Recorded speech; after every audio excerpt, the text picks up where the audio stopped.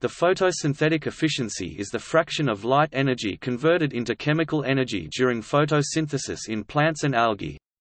Photosynthesis can be described by the simplified chemical reaction 6H2O plus 6CO2 plus energy C6H12O6 plus 6O2 where C6H12O6 is glucose which is subsequently transformed into other sugars, cellulose, lignin, and so forth. The value of the photosynthetic efficiency is dependent on how light energy is defined, it depends on whether we count only the light that is absorbed, and on what kind of light is used see photosynthetically active radiation. It takes 8 or perhaps 10 or more photons to utilize one molecule of CO2. The Gibbs free energy for converting a mole of CO2 to glucose is 114 kilocalories, whereas 8 moles of photons of wavelength 600 nanometers contains 381 kilocalories, giving a nominal efficiency of 30%. However, photosynthesis can occur with light up to wavelength 720 nanometers so long as there is also light at wavelengths below 680 nanometers to keep photosystem 2 operating see chlorophyll. Using longer wavelengths means less light energy is needed for the same number of photons and therefore for the same amount of photosynthesis. For actual sunlight, where only 45% of the light is in the photosynthetically active wavelength range, the theoretical maximum efficiency of solar energy conversion is approximately 11%. In actuality, however, plants do not absorb all incoming sunlight due to reflection, respiration requirements of photosynthesis and the need for optimal solar radiation levels and do not convert all harvested energy into biomass, which results in a maximum overall photosynthetic efficiency of 3 to 6% of total solar radiation. If photosynthesis is inefficient, excess light energy must be dissipated to avoid damaging the photosynthetic apparatus. Energy can be dissipated as heat non-photochemical quenching, or emitted as chlorophyll fluorescence.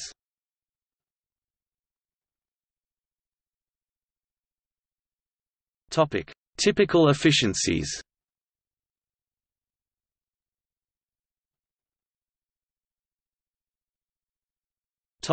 Plants.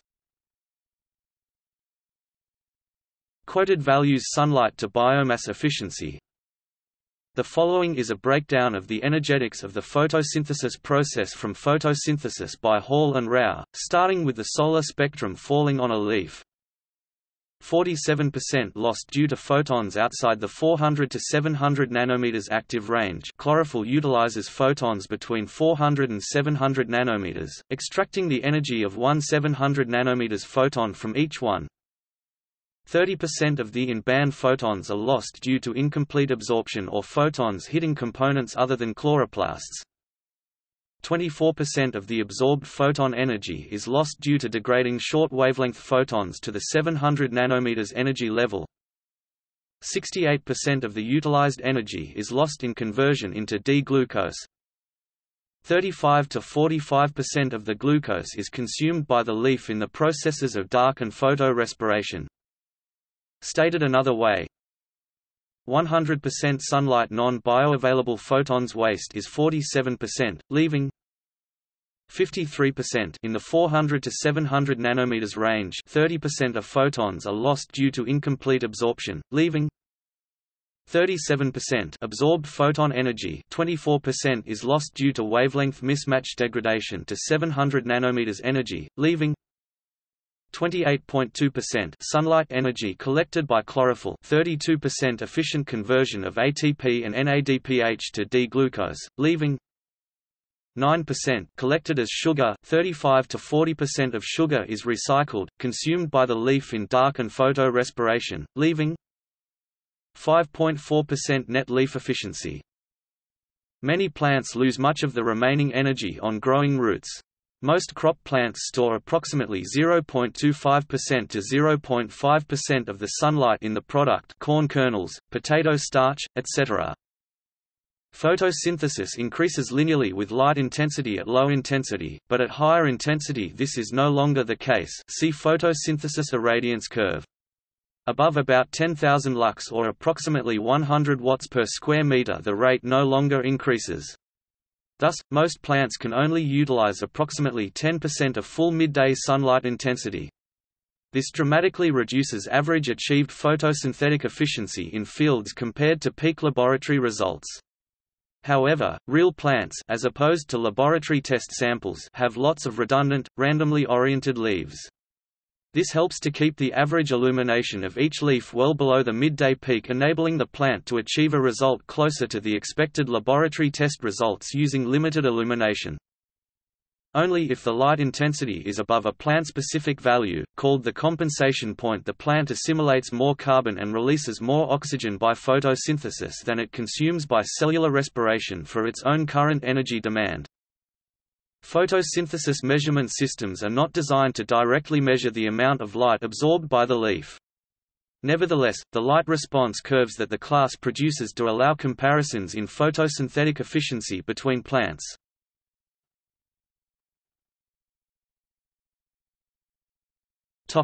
Algae and other monocellular organisms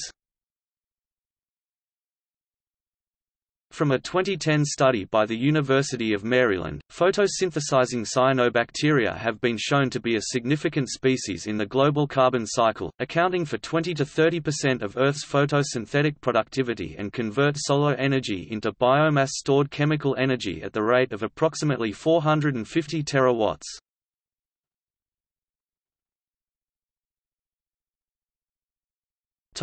Efficiencies of various biofuel crops. Popular choices for plant biofuels include, oil palm, soybean, castor oil, sunflower oil, safflower oil, corn ethanol, and sugar cane ethanol. An analysis of a proposed Hawaiian oil palm plantation claimed to yield 600 gallons of biodiesel per acre per year. That comes to 2,835 watts per acre or 0.7 with M2. Typical insolation in Hawaii is around 5.5 kilowatt-hours, M2 day or 230 with M2. For this particular oil palm plantation, if it delivered the claimed 600 gallons of biodiesel per acre per year, would be converting 0.3% of the incident solar energy to chemical fuel. Total photosynthetic efficiency would include more than just the biodiesel oil, so this 0.3% number is something of a lower bound. Contrast this with a typical photovoltaic installation, which would produce an average of roughly 22 with M2 roughly 10% of the average installation, throughout the year. Furthermore, the photovoltaic panels would produce electricity, which is a high-quality form of energy, whereas converting the biodiesel into mechanical energy entails the loss of a large portion of the energy. On the other hand, a liquid fuel is much more convenient for a vehicle than electricity, which has to be stored in heavy, expensive batteries. Most crop plants store approximately 0.25% to 0.5% of the sunlight in the product corn kernels, potato starch, etc. Sugar cane is exceptional in several ways to yield peak storage efficiencies of approximately 8%. Ethanol fuel in Brazil has a calculation that results in per hectare per year, the biomass produced corresponds to 0.27 terajoules. This is equivalent to 0.86 with M2. Assuming an average insolation of 225 with M2, the photosynthetic efficiency of sugar cane is 0.38%. Sucrose accounts for little more than 30% of the chemical energy stored in the mature plant, 35% is in the leaves and stem tips, which are left in the fields during harvest, and 35% are in the fibrous material bagasse left over from pressing.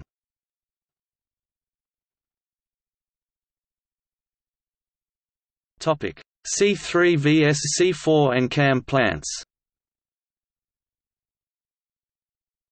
C3 plants use the Calvin cycle to fix carbon.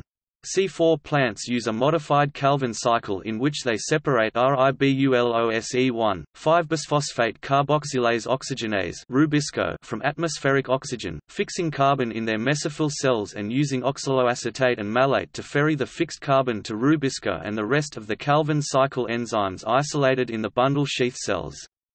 The intermediate compounds both contain four carbon atoms, which gives C4. In crassulacean acid metabolism CAM, time isolates functioning rubisco and the other Calvin cycle enzymes from high oxygen concentrations produced by photosynthesis, in that O2 is evolved during the day, and allowed to dissipate then, while at night atmospheric CO2 is taken up and stored as malic or other acids. During the day, CAM plants close stomata and use stored acids as carbon sources for sugar, etc. production. The C3 pathway requires 18 ATP and 12 NADPH for the synthesis of one molecule of glucose 3 ATP plus 2 NADPH per CO2 fixed while the C4 pathway requires 30 ATP and 12 NADPH C3 plus 2 ATP per CO2 fixed. In addition, we can take into account that each NADPH is equivalent to 3 ATP, that means both pathways require 36 additional equivalent of ATP beta citation needed. Despite this reduced ATP efficiency, C4 is an evolutionary advancement, adapted to areas of high levels of light, where the reduced ATP efficiency is more than offset by the use of increased light. The ability to thrive despite restricted water availability maximizes the ability to use available light. The simpler C3 cycle which operates in most plants is adapted to wetter darker environments, such as many northern latitudes. Corn, sugar cane, and sorghum are C4 plants. These plants are economically important in part because of their relatively high photosynthetic efficiencies compared to many other crops. Pineapple is a CAM plant.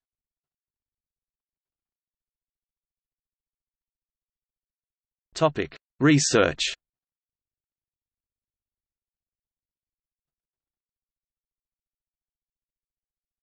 Topic: Photorespiration.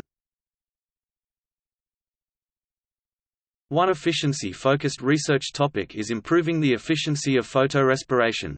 Around 25% of the time Rubisco incorrectly collects oxygen molecules instead of CO2, creating CO2 and ammonia that disrupt the photosynthesis process. Plants remove these byproducts via photorespiration, requiring energy and nutrients that would otherwise increase photosynthetic output. In C3 plants photorespiration can consume 20 to 50% of photosynthetic energy. The research shortened photosynthetic pathways in tobacco. Engineered crops grew taller and faster, yielding up to 40% more biomass. The study employed synthetic biology to construct new metabolic pathways and assessed their efficiency with and without transporter RNAi. The most efficient pathway increased light use efficiency by 17%.